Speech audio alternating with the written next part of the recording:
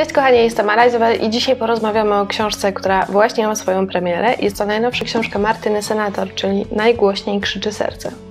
Nina jest cichą i spokojną dziewczyną, która ma swoją pasję i jest nią taniec, ale popełniła jeden wielki błąd, a mianowicie odrzuciła zaloty najpopularniejszego chłopaka w szkole.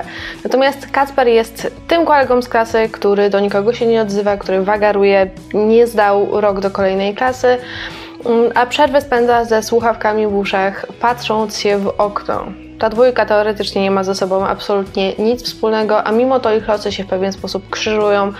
E, I na ich drodze stają takie przeciwności, które są w stanie pokonać tylko i wyłącznie razem. Jeśli chodzi o przybliżanie fabuły, to mam wrażenie, że nie ma takiej potrzeby, to, to nie jest wiedza, która jest Wam istotna. E, istotną wiedzą jest to, jakie wnioski wysnuwa się z tej książki.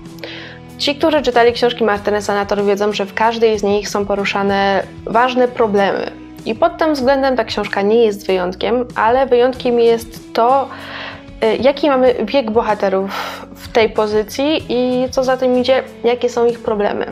Z reguły te książki Martyny Senator, które czytałam, mam wrażenie, że opowiadają o młodych dorosłych, a tutaj bohaterami książki są nastolatkowie, tacy, którzy mają 17-18 lat.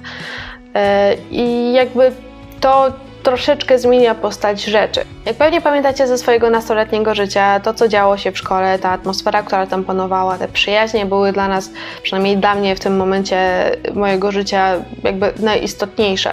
Niestety w tej książce sytuacja jest o tyle zła, że właściwie te wszystkie najgorsze rzeczy, które się dzieją, dzieją się właśnie w szkole. Historia opowiada nie tylko o dwójce totalnie obcych sobie ludzi, którzy poznają smak pierwszej miłości, że tak to tandetnie trochę ujmę, e, ale przede wszystkim opowiada o samotności, o braku poczucia bezpieczeństwa, o przemocy psychicznej i fizycznej, o znęcaniu się, e, o hejcie, o jakby braku nadziei na to, że jako młody człowiek jesteś w stanie cokolwiek zrobić. E, I tego, że dorośli, którzy powinni bronić młodych dzieci, niestety, ale nie zawsze się tego podejmują. Czytanie tej lektury nie było dla mnie zbyt przyjemne. Przede wszystkim dlatego, że tak jak prawdopodobnie większość nastolatków, będąc w szkole, przeżyłam ten teraz się to nazywa hejtem, wykluczanie z grupy i, i przykre słowa i znęcanie się psychicznie, też jest kwestia tego, że ja byłam zawsze bardzo słaba psychicznie. I niestety na mnie to w bardzo dużym stopniu y, oddziaływało, dlatego czytając tę książkę widziałam mimo wszystko trochę siebie i trochę te sytuacje, które pojawiały się w moich szkołach, właściwie każdych.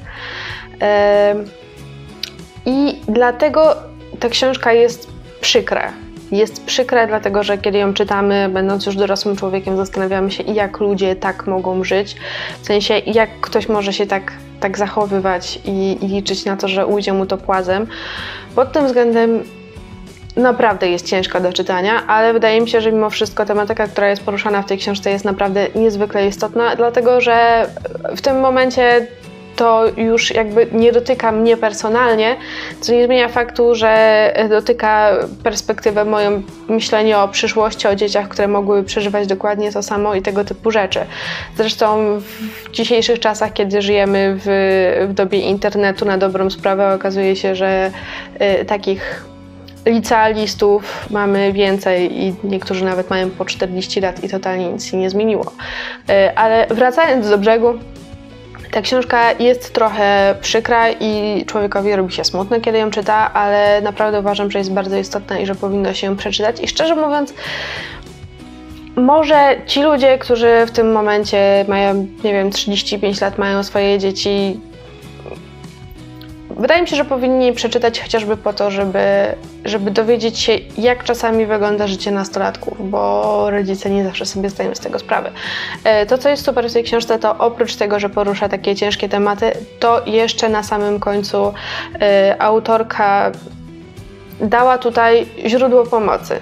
To znaczy y, wiadomość od autorki, która naprawdę porusza serce, która y, pokazuje ci, że nie jesteś sam i przypomina ci o tym, że wszystkie trudności jesteś w stanie pokonać tylko po prostu mu- musisz odnaleźć tę nadzieję.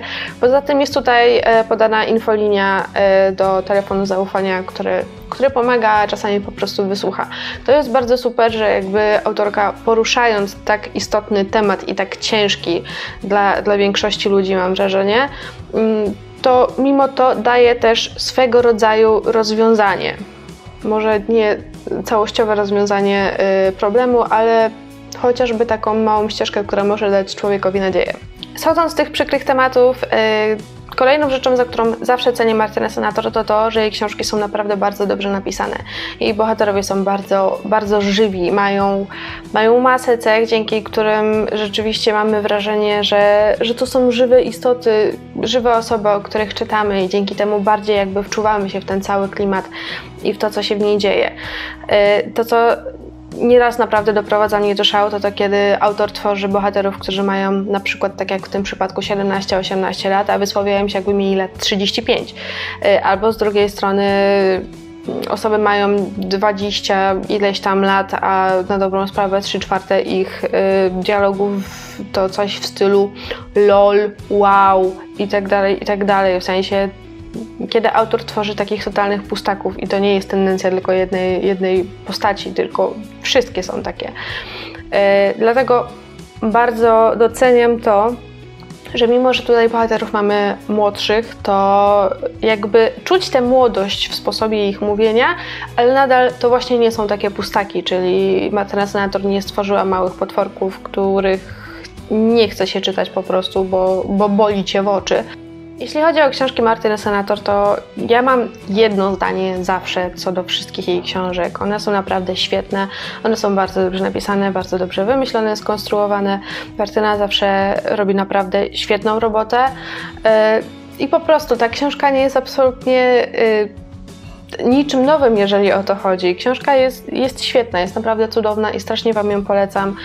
E, I już nawet abstrahując od tego, że jest napisana w naprawdę cudowny sposób, to powracając znowu do tego przykrego tematu, y, to, co warto wspomnieć, to to, że książka została napisana w porozumieniu z osobami, które rzeczywiście przeżyły takie sytuacje. To znaczy, to nie jest jakaś wymyślona bajka przez, przez szczęśliwą autorkę, tylko po prostu jakby momenty w życiu bohaterów, które się tutaj dzieją, są opisanymi realnymi sytuacjami, które, które spotkały, spotkały ludzi, z którymi w większości y, Martyna jakby współpracowała przy tworzeniu tej książki i wydaje mi się, że, że to jest naprawdę coś. W sensie ktoś dał w końcu tym osobom rzeczywiście głos.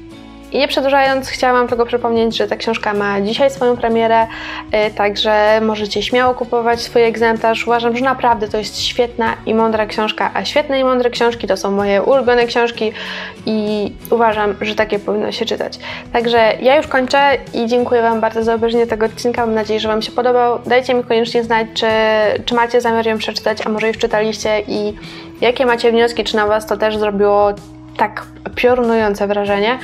E, I pamiętajcie koniecznie o subskrypcjach, łapkach w górę, komentarzach itd., tak itd. Tak Dobra, dziękuję Wam bardzo raz jeszcze i do zobaczenia niedługo. Pa!